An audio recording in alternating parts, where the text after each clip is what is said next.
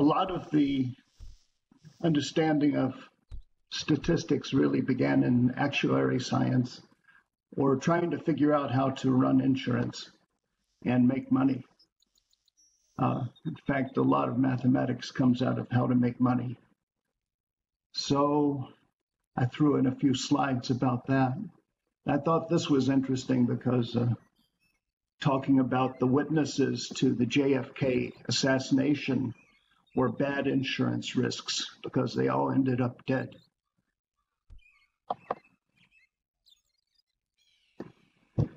This is a guy known for gonzo journalism from Louisville, Kentucky, named Hunter Thompson, was over the top. And he wrote a, a pretty freestyle. Uh, that was one of his commentaries. He wrote about gambling. He lived on the edge. And asked questions about risk. And risk is a big part of what drives uh, study of statistics and probability. Uh, risk assessment and uh, risk tolerance or risk aversion. True gambling, in my opinion, is when there's no real assessment of risk. I thought this was a nice little anonymous poem. There was a movie called The Man Who Never Was from years ago that sort of fit it. And talking about taking risks, there was a saying that's been attributed to a lot of people, but uh, was uh, pinned down to Frank Scully uh, about go out on the limb, the fruit's out at the end. So take some chances or you don't get anywhere. And I found a point about uh, Hercules and his servant Lichas playing at dice. Hercules, for all his strength, could easily lose a throw at the dice because fortune doesn't uh, necessarily reflect any one thing, even strength. And there's a lot of uh, someone's yawning already. uh, legend about gambling and like the dead man's hand, aces and eights that uh, were dealt Wild Bill Hickok before he was shot in the back.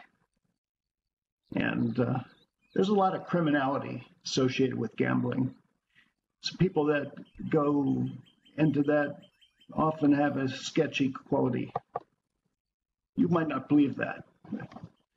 I found this, it was kind of interesting, kind of going into my regular time here, so I need to hurry, but uh, I thought uh, a cool sign, only in Texas, liquor, gambling, smokes, and God in one location. So this was just a collage, and now I'm going to launch.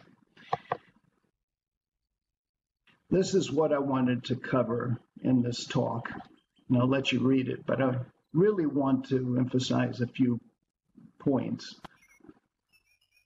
I want to uh, help you think about risk versus security, certainty versus uncertainty, and how you can deal with that, how you can take limited information and come to a pretty good conclusion about where the center of all that is, what what the thing you're looking for really is.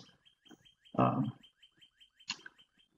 binomial theorem is a really, really big part of mathematics and combinatorics, of course. And I'm going to talk about that. And binomial theorem leads to the normal distribution. I want you to end up associating the two. The normal distribution is born out of the binomial uh, distribution. Also, I want to uh, emphasize the idea of expectation. Now, that was uh, kind of confusing and used intuitively uh, for a long time, but expectation is a generalized mathematical concept. And what we would call the first moment expectation is the mean of a distribution. And then got a couple of cool theorems by Russians leading to an easy proof of uh, Jakob Bernoulli's uh, law of large numbers. The weak version is what I'm going to talk about. And I'm going to talk a little bit about Gaussian distributions. Statistics, I think, is uh, interestingly uh, uh, duplicitous or two-faced or stands on two legs or any way you want to look at it. Uh, I think that the uh, Roman god Janus uh, represents it pretty well. You have the old face looking into the past, and the young face looking into the future. And I think of the old face looking into the past as sort of statistics, and the young face looking to the future as the probability of potential opportunities.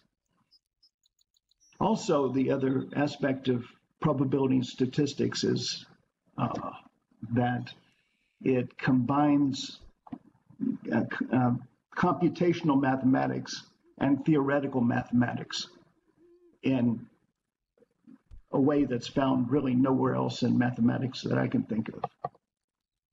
So, just a quick uh, listing of, of uh, some definitions that you can look at and uh, that what statistics is.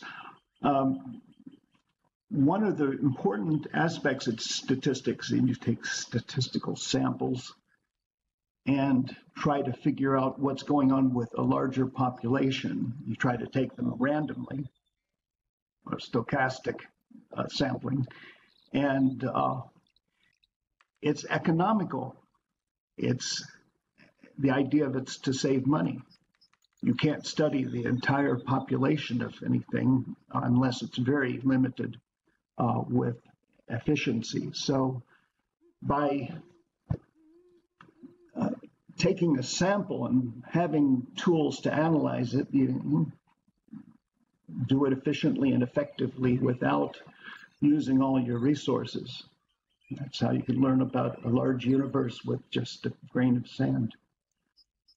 This little uh, quote at the end by Stalin, uh, I wanted to uh, counter by uh, uh, showing a picture of uh,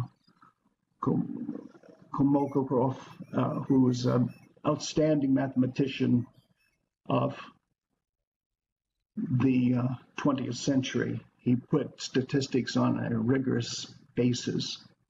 Really brilliant guy, based in Moscow most of his career, I think. So we talk about populations, and populations, we're talking about something that is out there. We're just taking little bits of it, atoms of, of a gas or uh, a scoop of uh, grain or whatever small part of a whole that you want to study. You have some defined procedure. One of the aspects of statistics that came out around 1950 and on from Fisher, uh, whose name you might have heard, uh, was the, a defined algorithmic approach to experimentation.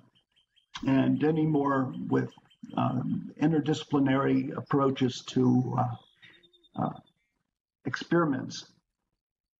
Uh, st statisticians uh, are a good thing to have on board. Uh, so I, mentioned uh, you want to have uh, economical uh, thoughts about this. You usually um, might have grants or a certain uh, budget you have to follow. So you have to have su- samples that are subsets of manageable sizes. Um, I want to talk real quickly about some numbers. One is pi. Where does pi come from? Well, you have similar geometric figures. You have um, S1 is a small arc and S2 is a larger arc centered at the crossing of these two lines. And you can create a, a, uh, proportionality. Well, the same proportionality really will work for the entire circle. The uh, entire circle uh, is the full arc all the way around, 360 degrees or whatever. And uh, so the circumference of the circle to the radius is a constant. And that constant's what we call pi. Now, let me see here. Let's see. I um, I'll just say you can you can estimate pi. You can you, there you can take chords, which are the if you look at the arc uh, between uh, uh, for for that C1, uh, it's a short little arc, uh, and the chord between the two points where the uh, the radii hit the arc make a short line segment, which is very close in size to the arc. The smaller the arc, the more uh, similar it is in size to the uh, chord. So if you subdivide a circle into n segments like this, then um, you can figure the length of the chords. There's a easy way to do that. You know, uh, you have side angle side determines a triangle and uh, the squares of the radii, uh, two times the radius squared times uh, uh the uh, um, cosine of the angle between them is the equal equal to the uh, chord. You can actually do computational methods to estimate pi. That's another thing I want to encourage people to do in this. But before I talk about that, I want to encourage people of any age get a compass, get a straight edge, and see what you can do. Um, uh, Archimedes was at least 76 when uh, he was uh, slaughtered by uh, Romans, and he was drawing figures into sand. It's uh, uh, not just for kids. and it, you kind of learn things by doing this. Um, if you take a circle, uh, there's one, one thing I think is really curious is that you have this uh, area of a circle has a constant as well. That same constant is used for the circumference of the circle. How did this happen? If, on the surface of it, that doesn't necessarily have to happen.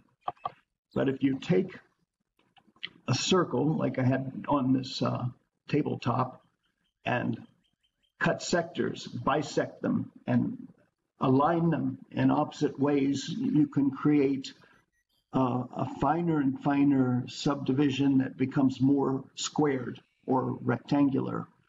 And if uh, you look at the lower right there, uh, each uh, side is the length of the radius, and the uh, little arcs on each end total half the circumference so that uh, if, uh, uh, well, by one side being related to the circumference, you can see that pi would be related to the area of the circle that's being geometrically squared when you take that to a limit. You'll be cutting molecules eventually with your scissors, but um, Kepler was uh, the first, as far as I understand, who did that. Um, there's a famous problem I want to talk about that leads into some of this, and this was Bernoulli's problem of compound interest. And just to review this real quickly, if you have uh, whatever your interest is that uh, you're making on an investment, um, uh, you add it to one and multiply it times your basis, and you'll get however much uh, the uh, um, amount is going to be uh, or grow to by whatever the interest period is. Uh, if you invest your money wisely, put one euro in a bank and get 3% interest.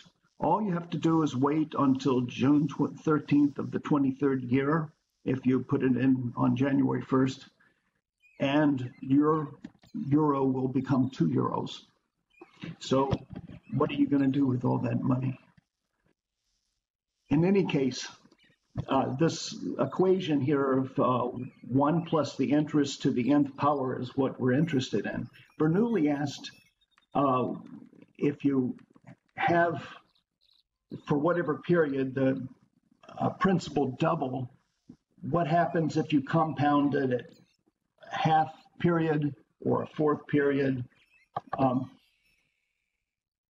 and you uh, can come up with the uh, question, what happens if you did that an infinite number of times? You start to look at the limit of 1 plus 1 over n to the nth power.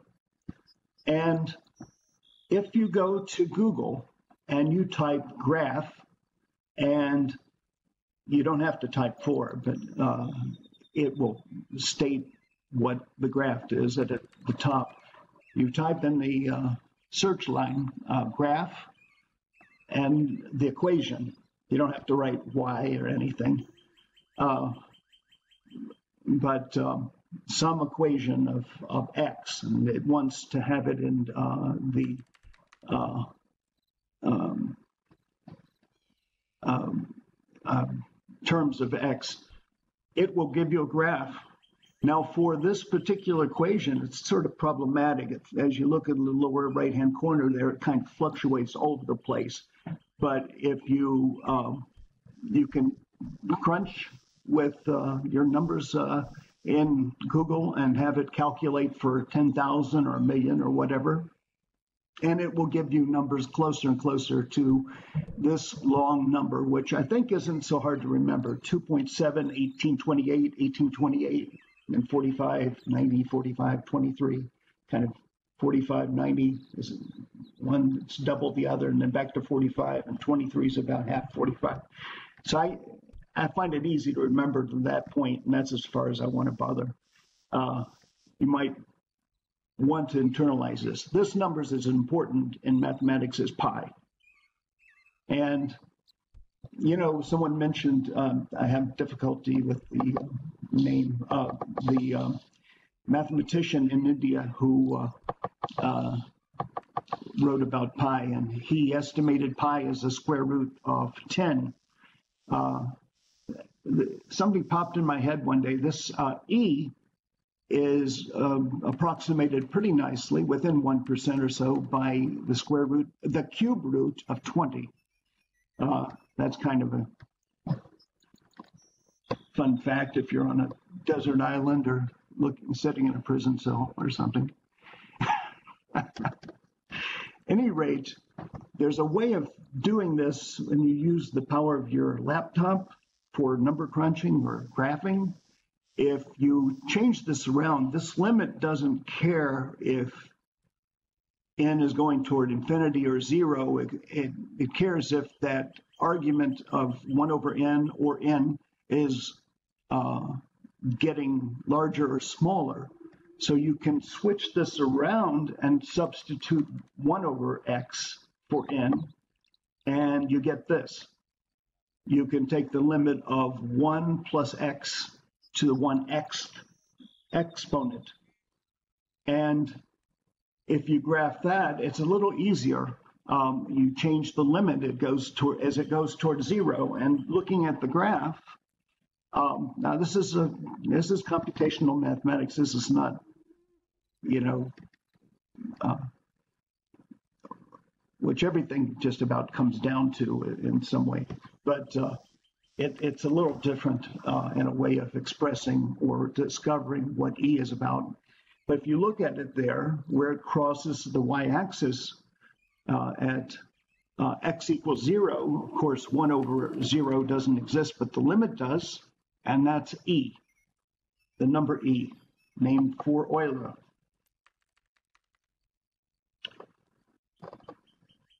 Now, I don't want to, I, I, I figured this um, is uh, largely a group of people that are involved in education and teaching. And for mathematics, uh, much of uh, what people learn is taught to them by um, maybe non-mathematicians, scientists, uh, people with mathematical skills. Uh, but uh, originally, I learned significant part of statistics from a chemistry professor. Um, that's not where you want to stop, but and if you do that, uh, you often will end up with bits and pieces and uh, need to work at putting putting it together. Uh, but at any rate, I wanted to write this out for a couple reasons. I wanted to let you look at it. Just uh, these are really critical concepts. Being uh, fluent or uh, comfortable with exponents and logarithms in the mathematics of involving statistics is, is critical. And I want to point out the cool thing about these kinds of equations. If you're dealing with uh, uh, functions, you're trying to do some kind of functional analysis, and you're dealing with functions that are multiplied together, and you want to separate out those variables. Uh, you maybe have one function of x and another of y, and x and y are independent. Uh, if you take the logarithm or a logarithm of the multiple. It becomes the sum of the logarithms. And you can do an inverse transform uh, back to an, and take the exponential function of that, get it back into its uh, something like its original form if you need to. Um, so it converts multiplication to addition. And that helps you pry apart problems once you identify what you're trying to figure out about a, a system and set up a problem or model to create a, a uh, an equation to derive. You can often use this uh, to uh, derive it. I wanted also to um, talk a little bit about the exponent or the um, uh, exponential function and its derivative. If you look at this, the important thing I want to emphasize here is that the exponential function of whatever base is always equal to itself times a limit. And uh, that limit's kind of uh, curious, interesting. Uh, let's look a little further. You can uh, use graphing functions to estimate limits on this sort of thing as well. And in this, I'm doing, this is an important point really, doing a function with exponent. Uh, the, the base is E, um, Euler's number. And at zero, that is, a, I got a touch screen here. Uh, at zero, um, it's equal to one. That limit's equal to one. So the derivative of the exponential function is equal to the exponential function. It is unique in that way. It's extraordinarily useful in that way. Um, for one thing, uh, there are tricks like you develop moments, what are called moments in uh, uh, dealing with uh, uh, statistical functions where you take the derivative of e to the or exponent of tx and with respect to t and that will be and then set it equal to um, um, set uh, t equal to zero for the derivative and that will give you x it's uh, uh, something I want to mention. It's uh, more than I can get into in, uh, in depth in this discussion, but uh, I wanted you to be aware of moments, and I'm going to mention it again later. Um, let's look at the logarithm derivative and this will come full circle here a little bit. Uh, if you take the logarithm derivative, you come up with the log uh, the derivative of log is of any base is 1 over x times. So that's that's important to remember, of course, and times a limit. Uh, keep touching my screen. Uh, the limit here should look familiar to you. A little bit ago, we did a limit of 1 plus x to the x, and it was equal to e. That basically is e. So you have the logarithm of whatever base to the number e, uh, of the number e, which is 2.7, 1828, 1828, uh, 4590, 4523.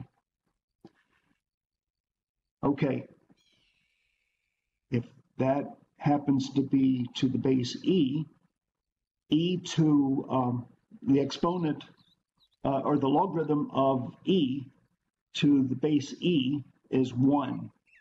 So you end up with that limit becoming inconsequential and taking the derivative. So this is one reason why we use exponential functions because the derivative of the exponential function is equal to itself, and we use uh, natural logs because the derivative of natural logs is x, is 1 over x. And of course, they're inverse functions, just like uh, when uh, you have um, uh, linear equations, y equals mx, um, and uh, the uh, slope of x uh, equals something of y is 1 over m, you, the uh, slope of the uh, uh of the reciprocal of the natural log is related to the exponential function slope uh, or or derivative. In other words, the derivative of an inverse function is the reciprocal of it.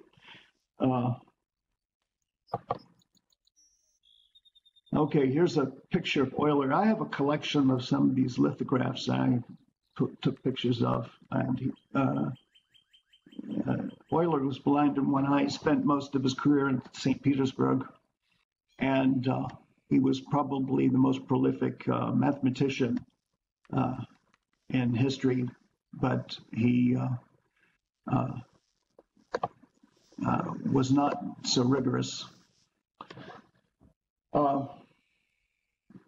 if you do um, uh, an application of binomial theorem, which I'm going to talk about in a minute, to this log, uh, uh to this x, this one plus uh, uh, delta x over x to the x over delta x, you will come up with this expression of. I keep hitting the screen. Sorry uh, this expression of uh, E in an infinite series. Uh, uh you can also get that by simply uh, deriving um, the uh, Maclaurin series for exponent of x and setting x equal to zero. Um, I thought this might be uh, helpful for a couple reasons. One, it emphasizes how you can explore uh,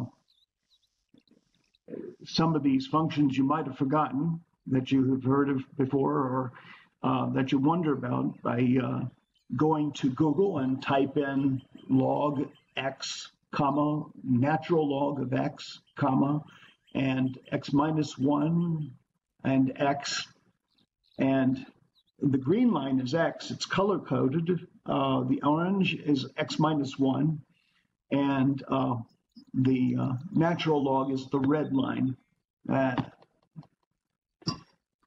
I should use a pen or something to with.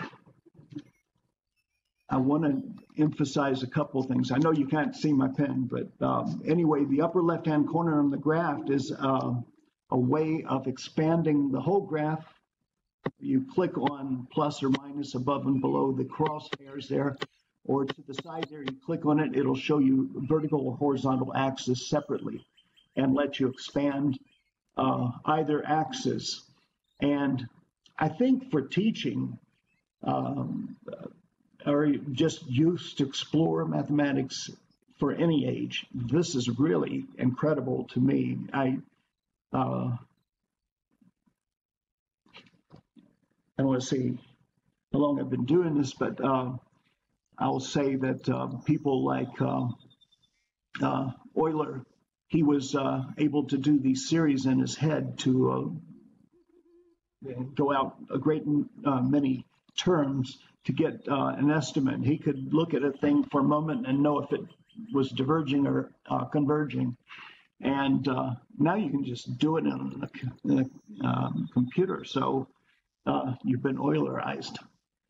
One, one other point besides uh, encouragement to use this graph function in Google, which I just happened to come across, and I hadn't come across anyone else that knew about it. Uh, so I wanted to emphasize it to you folks, uh, is if you look at the red curve, which is the natural log, and the orange curve, which is x minus 1, so I just placed the green line over by 1, it's at a tangent there. And uh, the natural log, the derivative of the natural log uh, is 1 over x, and at 1, 1 over x is 1. So the slope to a tangent at, of the curve at um, uh, x equals 1 should uh, be, uh, or a straight line, uh, you know, approximating it at that point should have the slope one. You see it does. I think it's really important to um, I'm tapping. I'm, I'm sorry. I'm, I would. I'm hit my computer with using a pen with a uh, tapped on the screen.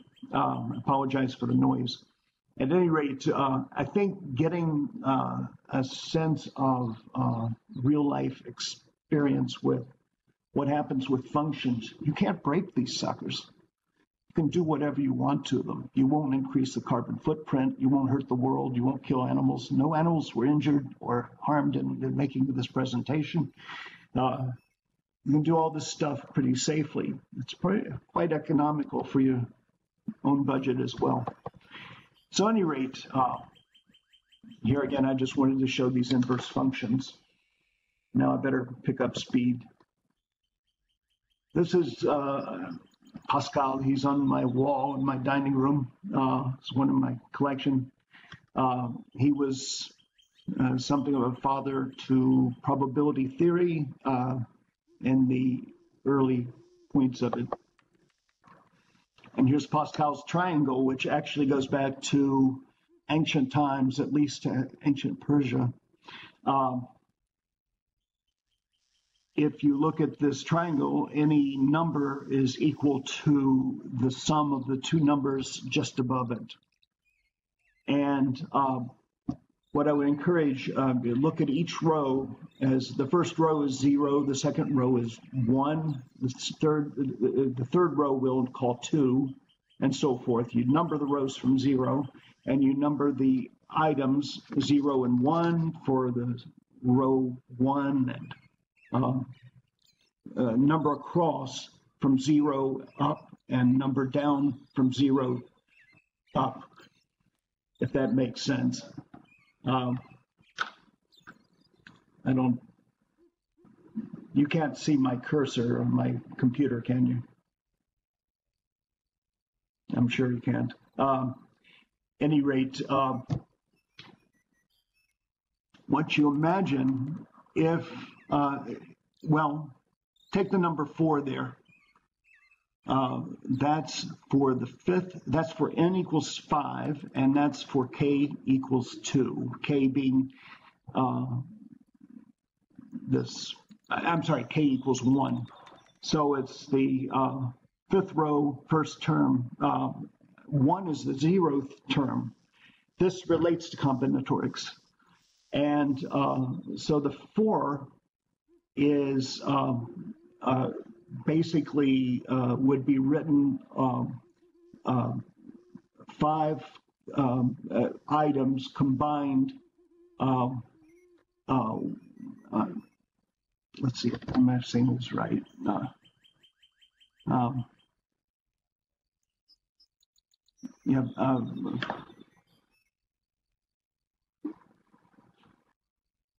zero one.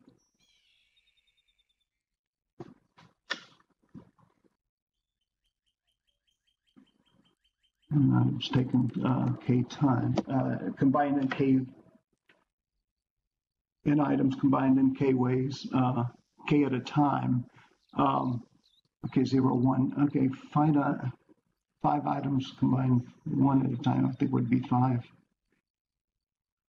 I'm going to go on. I'm getting myself confused. Um, my point, uh, though, was uh, that um, if you are looking for the um, combinations of anything, it would be all the combinations uh, taken at the uh, uh, uh, the combinations of n things taken k times without concern for order would be the same as the combinations uh, for n minus 1 times taken k uh, uh, at a time plus the n minus 1 uh, items taken k minus 1 at a time because each of those ones that are taken k minus 1 at a time get get a new one when the, you go to the next row.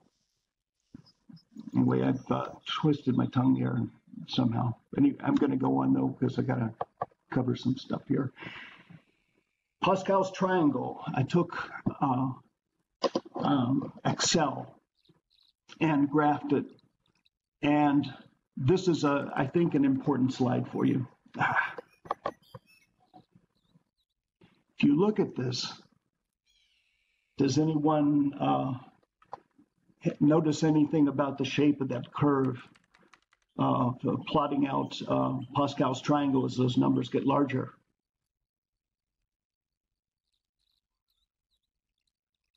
Those curves become more and more like a normal bell-shaped curve. Pascal's triangle is the spine of the normal distribution, in a sense. There was a Abraham de Moivre, who uh, was the first to recognize that uh, a normal distribution uh, could be uh, used to approximate uh, a binomial distribution, especially when you get into larger numbers. And uh, it's tedious to work with binomial distributions. So if you get into, because you look at the coefficients, uh, I had meant to uh, talk about uh, n factorial here. n factorial is equal to itself times every number less than itself down to one and zero factorial and one factorial or one. Uh, those get to be really large numbers to deal with. If you're working with pen and pencil, that's going to be a lot of work and uh, take down a lot of trees. So using um, uh, a, a, technique for approximating binomial distribution with normal uh, distributions uh, becomes quite useful uh, if you need to do that. Uh, also, just uh, I wanted to emphasize this again in functional analysis. If you look at, take the logarithm of n factorial, you break that product up into sums.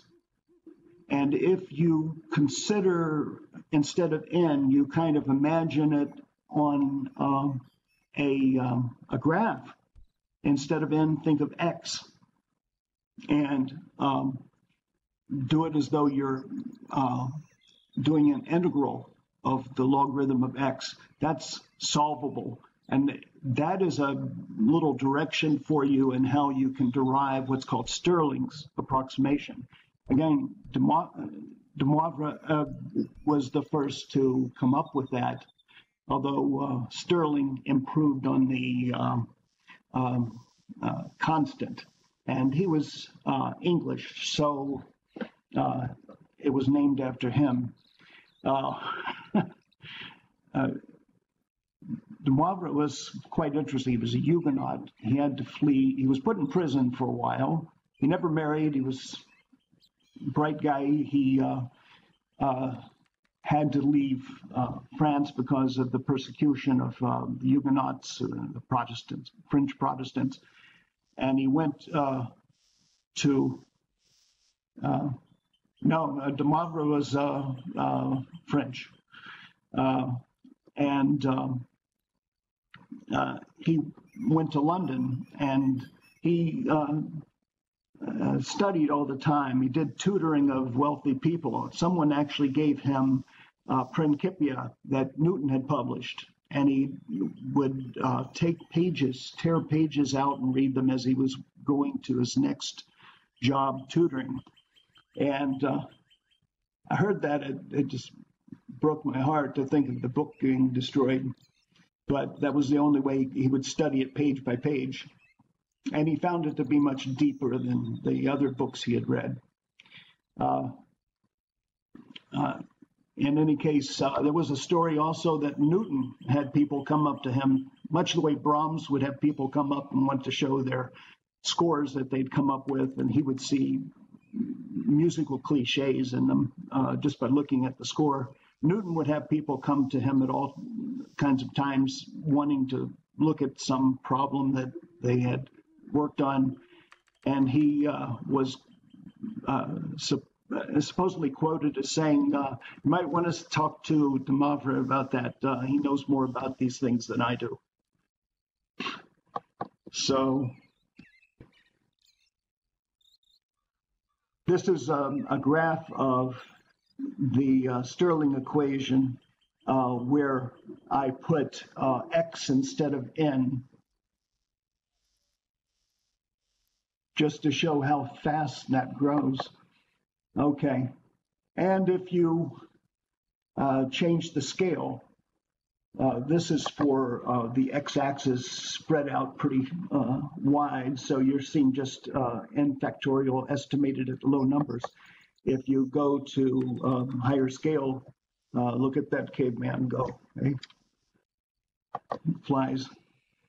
All right. Permutations. I want to just point out one thing about permutations, and you can look at this kind of a uh, graph you probably or table you've probably seen before about how you get uh, uh, um, uh, a um, formula for um, permutations of n things taken k times. Uh, uh, that is related to the uh, binomial uh, theorem. This is the coefficient for binomial theorem. And if you look at the uh, n factorial over n minus 1 factorial there, that's permutations. Of course, you have many more permutations than combinations because combinations don't care about order and, and the permutations are ordered sets. So uh, how many more? K factorial more. So I thought that was rather interesting. And uh, Newton, during the plague, came up with uh, uh, a generalized uh, binomial theorem, which I wrote there at the bottom, which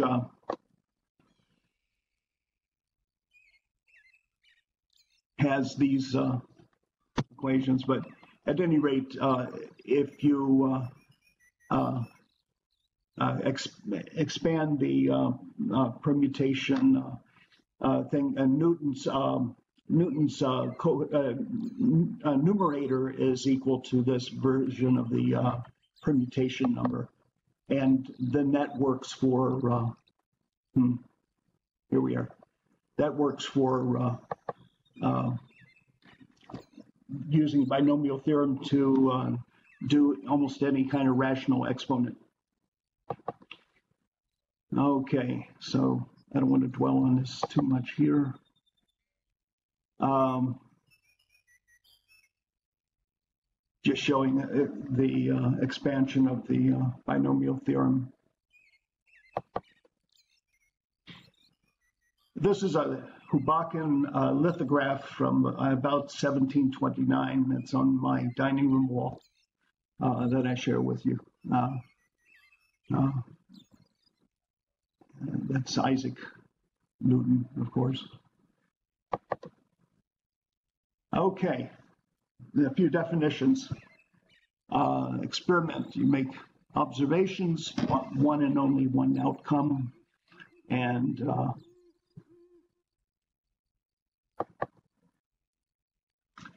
when you do an experiment, you're uh, taking samples from uh, that correspond to points in a sample or outcome space.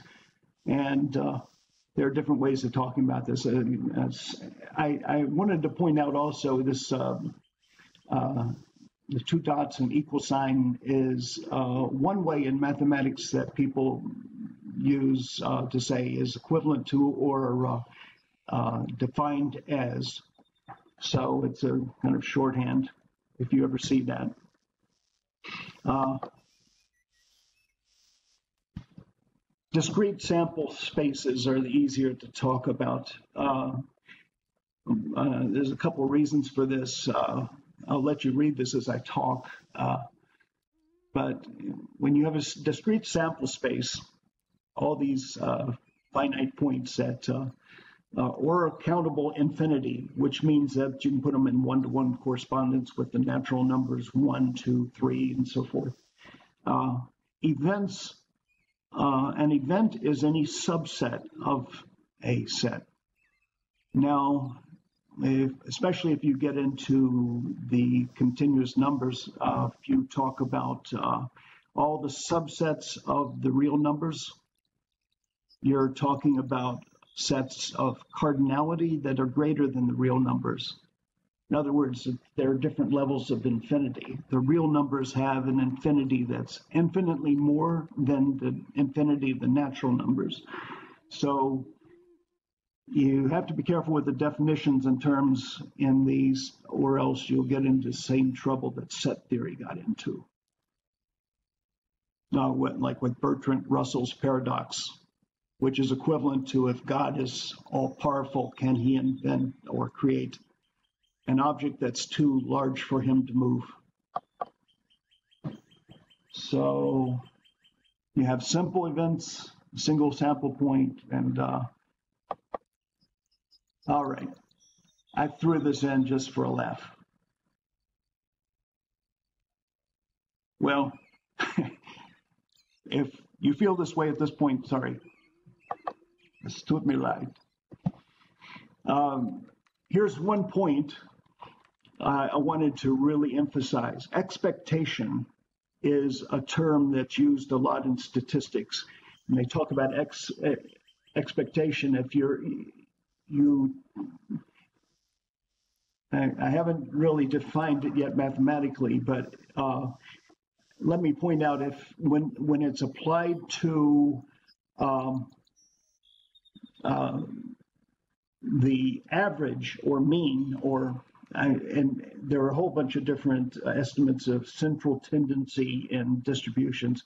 Um, usually you use the average. Um, that is uh, uh, the um, what's called the first moment, which I'll mention again there. I'm not going to talk a lot about moments, but it's the expectation of a sample. And that's totally linear, uh, meaning that if you multiply something times it, you can take the constant out of the expecta- expectation. And if you are adding two random variables, the expectation is equal to sum of those two. Uh, I think that you need to play with this stuff to really start thinking of it in terms of expectations rather than uh, it's almost like algebra of, um, of samples. Uh, hmm, I don't know how I got this far down here.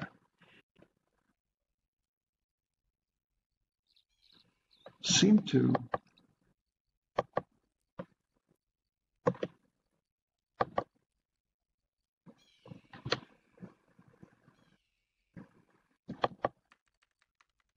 I I, um, I thought I had a whole bunch of slides that uh, I'm not seeing. Okay, well, I'm going to go with the flow here. Uh, the weak law of large numbers was worked on supposedly for about 20 years by Jakob Bernoulli, uh, or Jacob Bernoulli, and um, uh, who was a Swiss mathematician and uh, physicist. And um, I can believe it probably took him 20 years. There were a lot of uh, points that were confusing to people about uh, probability when this all started. And he, he, was really looking at coin toss. Uh, but uh, the idea of it is when you um, have uh, a sample, you get an average. Uh, there's no guarantee it's going to be um, the average of the big picture, the average of the population. But uh, as you take bigger and bigger samples or more and more samples, it will start to uh, average out. You'll start to get um, the true mean. And he actually proved it. Um, you take a bunch of independent variables, you can add them together and make another independent variable like this. And uh, for some reason, a whole slew of my slides disappeared. Uh, so I'm not going to get into the details. There's a point about variance. Variance is equal to the expectation of the difference between uh, each independent variable and the mean squared. It's it's it's not linear like the average is. Uh, so if you um, um, have uh, the variance of um, um of um, these um, independent variables all being uh, sigma squared, and you take uh, 1 over n, uh, that 1 over n becomes n squared there. Um, uh, this is terrible. I wish I had the slide created to show the basis of that, but uh, it's a tricky part of this proof that uh, uh lets you end up with uh, this um, equation at the lower left-hand corner, which is based, whoa.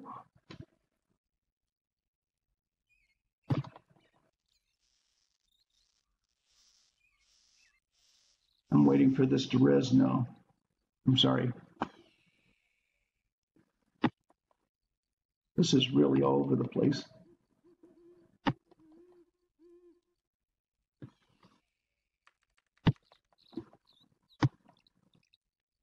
Well, I am going to just wing it here. Here's the idea of how the law, a weak law of large numbers was uh, can be proven. You have a a theorem called Markov's inequality, and it works for any um, any distribution, and um, it basically states that uh, the chance in, in, in, a distribution, if the chance of uh, uh, a value being uh, an outlier or greater than some value A is uh, um, less than whatever the average is or expectation for that uh, um, sample space divided by A. And that's really um, beautiful. Now, that only applies to positive uh, distributions where there are no negative uh, uh, uh data points. Um, if you apply Markov's inequality to Chebyshev's, uh, uh, or I'm, I'm, saying this odd, to get Chebyshev's inequality, you apply Markov's inequality to variance. And you can show that the variance um, is uh, uh, that basically it puts bounds on the difference between uh, any any x in your sample and uh, the um, the mean, and you take that and then you can prove uh, the uh, weak law of large numbers by uh, based on a limit. Um, see if I can get back a little bit here.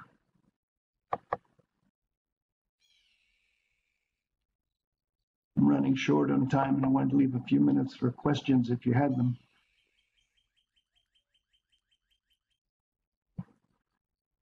Something funky happened to my slides here. I don't know. They, I went through them last evening and they were all in order.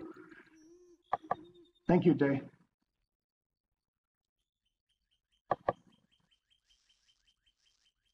But uh, see if I can get anything.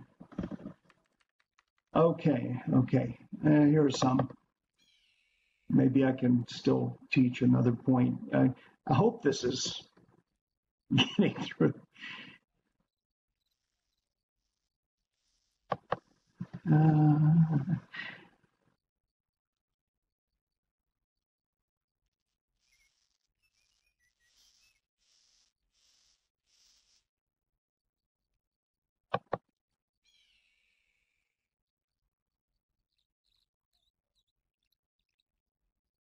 By the way, uh, if you saw a picture of Prince, here uh, was a joke. I was going to talk about the Prince of mathematics, which is Gauss.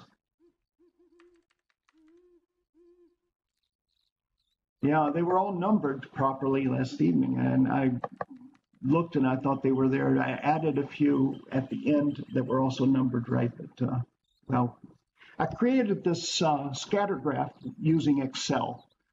I just made up numbers. It was like bad science.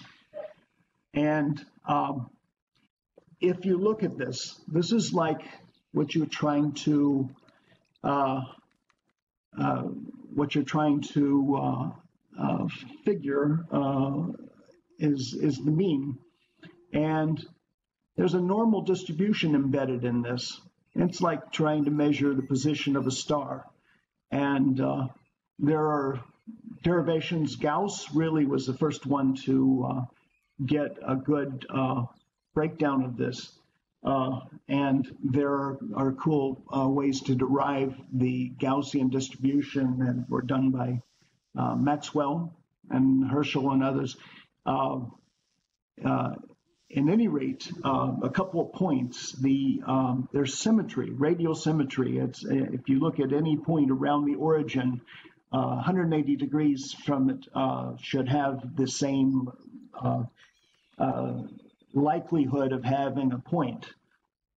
So uh, you also have x and y, and they should be independent variables. And of course, the radius to any x or y point is the square root of the sum of the squares.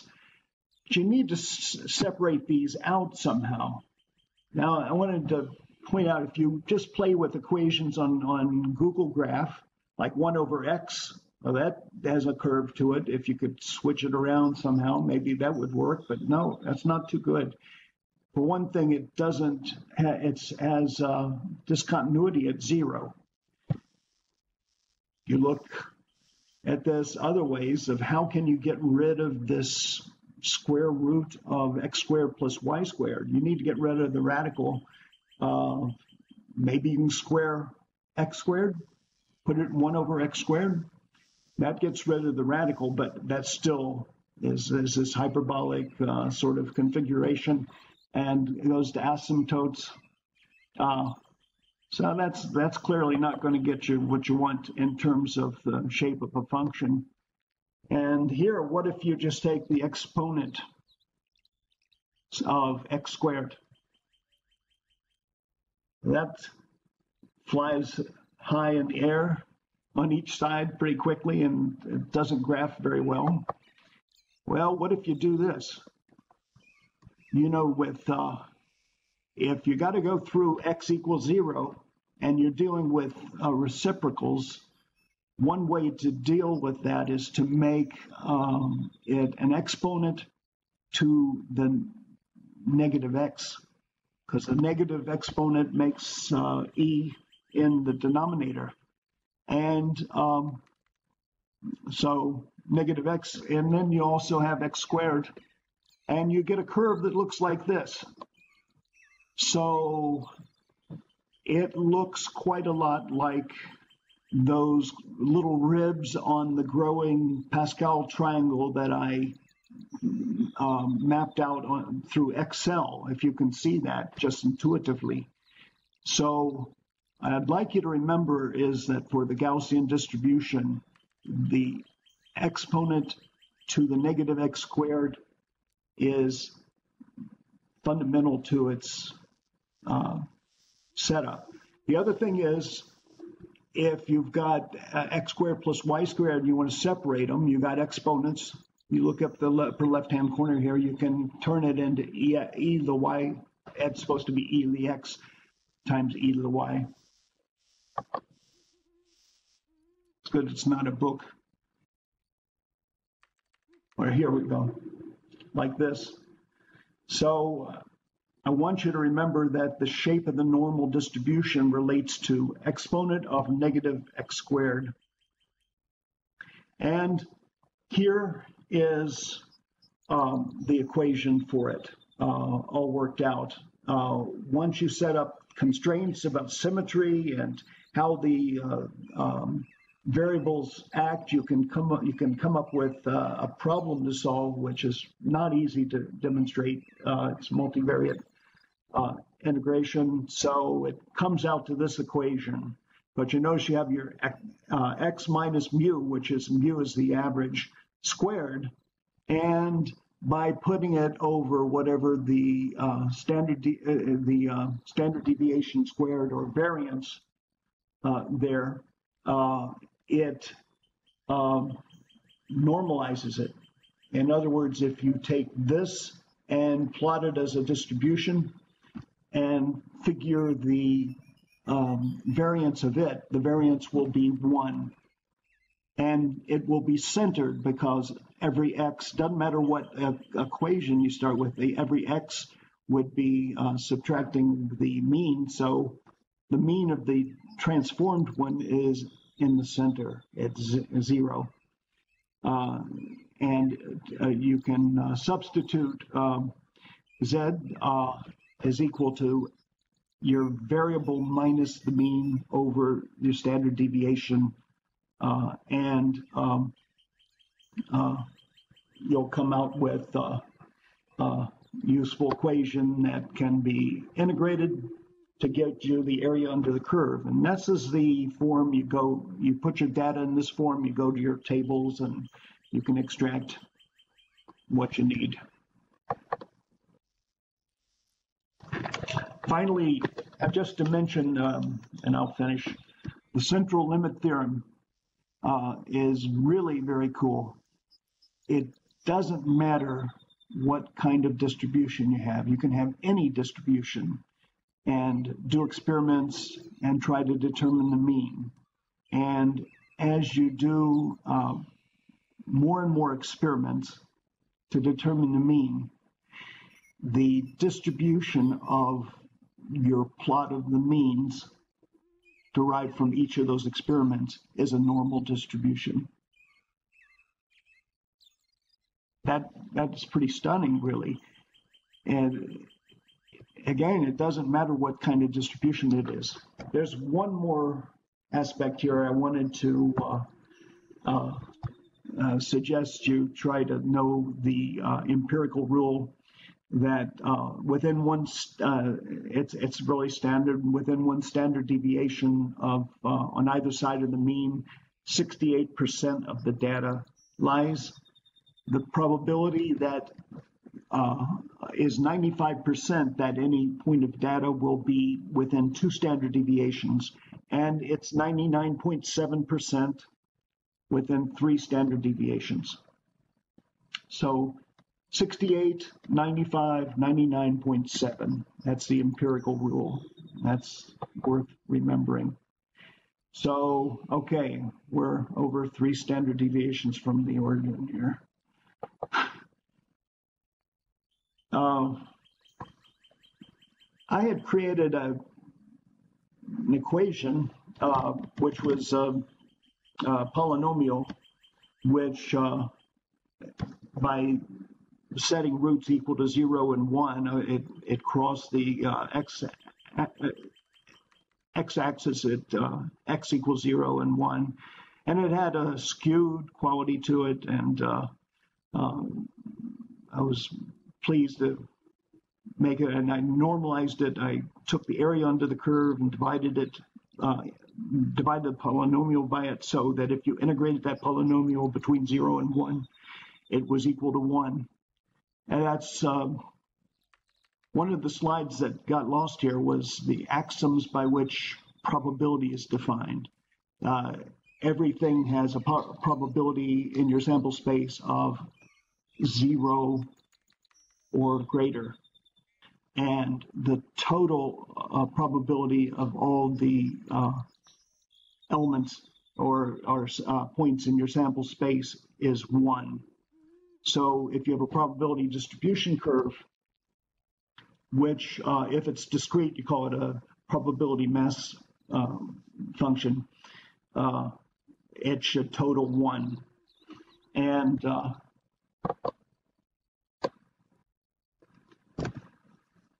I'll give one last tip here. Uh, I, it was a great article I read recently about David Hilbert, uh, uh, who died in 1943 in Germany.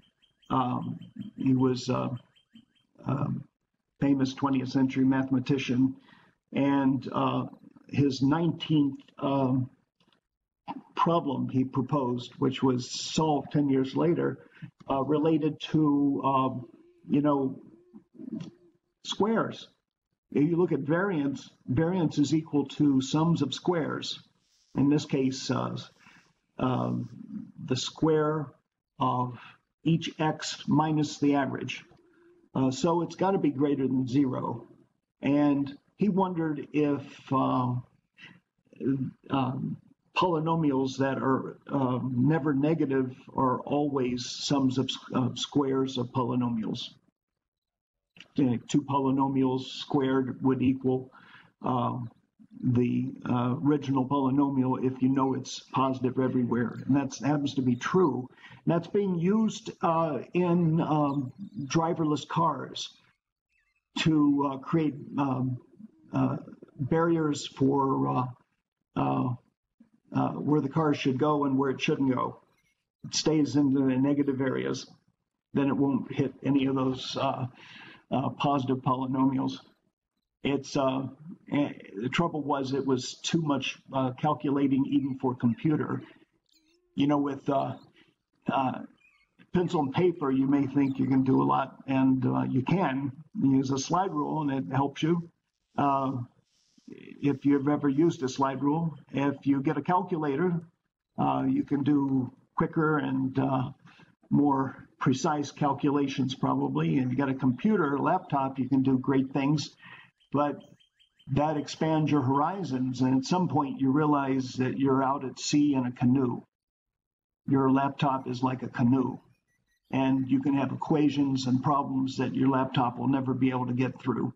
But this, uh, these two people um, uh, developed an algorithm uh, by which it's uh, sort of like fast Fourier transforms. They could work through this problem.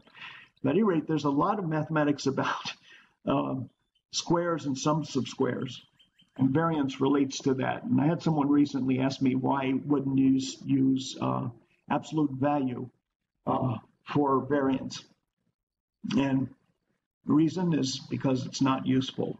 It, you could. You can define anything any way you want, and it'll come out any way you uh, um, can find relations. Uh, so, uh, uh, but with um, variance defined as the sums of squares of the difference between each sample value and uh, the mean, uh, it's um, it works and it's useful and you can do a lot of mathematics with it. I'll say one other thing real quickly, especially with discrete um, problems like tossing a coin. Um, it's another thing I'd shown in the slides, which got lost, that um, the probability, if it's, if it's a fair coin, if chance of uh, hitting heads or calling it success and tails failure uh, would be 0.5, and the probability is 0.5. Well, you never have, you know, 0.5 isn't a choice. You, you toss a coin, you get a heads, that's one, that's a success, and failure's a zero. And so the mean doesn't have to be part of the sample set, as a point I wanted to make. And um, kind of related to that, I thought was the idea that uh, uh, half uh, the on the average uh, human beings have one testicle or pretty close to it. Uh, the average doesn't have to actually be uh, representative of the sample. So um, I put a PDF of my whole set of slides that uh, should have shown at this link that uh, people are welcome to use. And uh, I'm going to post it right now, uh, along with the article of, about um, uh, Hilbert. I was reading something else this morning. Uh, in 1934, David Hilbert was having uh, a meal with um, a man named Rust, uh, who was the Nazi Minister of Education. And so um, Rust asked uh, Hilbert, so how are things at Göttingen? Göttingen was the uh, top place uh, for mathematics in the world at the time. This is 1934. And uh, that's where Gauss had been. And uh, in any, any case, he says, So, how are things at Göttingen now that we've eliminated the Jewish influence? And Hilbert said, There is no more mathematics at Göttingen. So, education and uh, freedom of thought and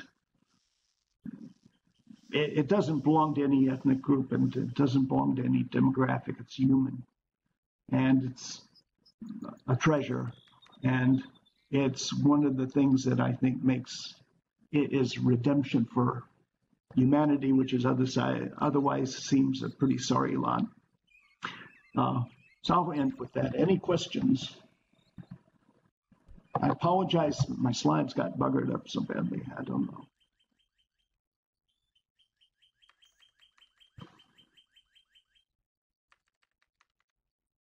Well, thank you. Thank you.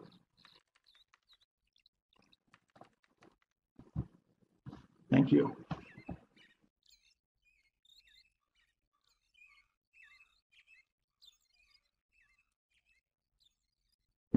Well, I wish everyone a good weekend.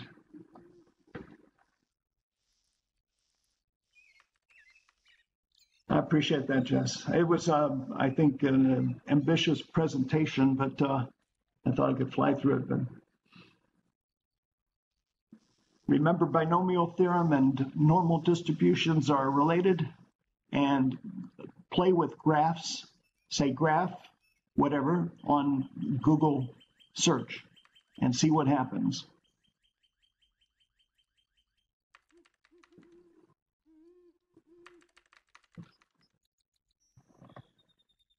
That looks like a good probability of that of having a good weekend. I appreciate the opportunity to speak here. I'm going to turn my microphone off, I guess. Thank you.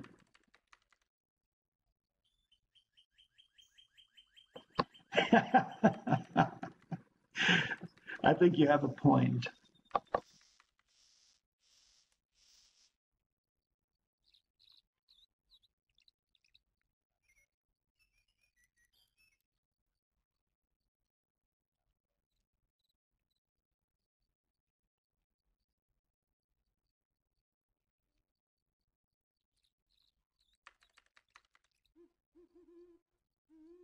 Mm-hmm.